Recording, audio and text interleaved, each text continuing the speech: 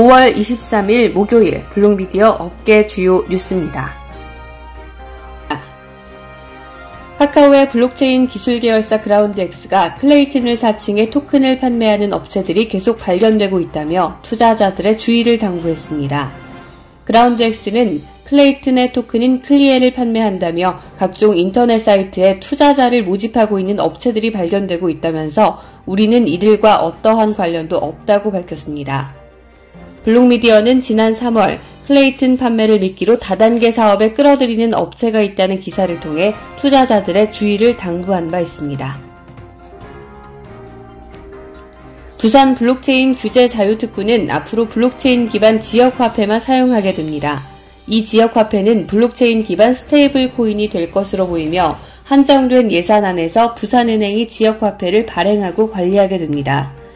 참여 기업들이 자체적으로 암호화폐를 발행하거나 발행한 암호화폐를 활용할 수 없기 때문에 참여 기업들은 지역화폐를 기반으로 하는 사업자가 될 예정입니다.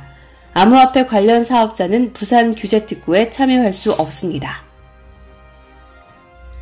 브로피어스 비트코인 재단 회장이 암호화폐 대중화에 교육이 가장 중요하다는 입장을 밝혔습니다. 롯데호텔에서 열린 한국미래포럼에서 진행된 인터뷰에서 그는 블록체인과 암호화폐를 알리려면 사람들에게 올바른 정보와 지식을 제공해야 한다고 말했습니다. 이를 위해서는 모두가 함께 노력을 해야 한다며 비영리재단 비커밍과 여성 블록체인 인재 육성 사업에 뛰어든 이유를 밝혔습니다.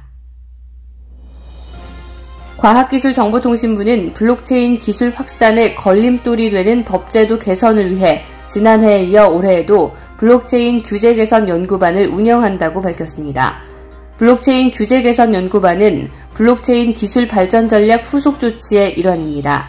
연구반은 블록체인 기술 활용 확산을 가로막는 규제를 찾고 개선 방안을 마련하기 위해 지난해부터 운영되어 왔습니다. 이번 연구반은 오는 12월 중순까지 활동하면서 규제 개선 방안에 대해 논의하게 됩니다.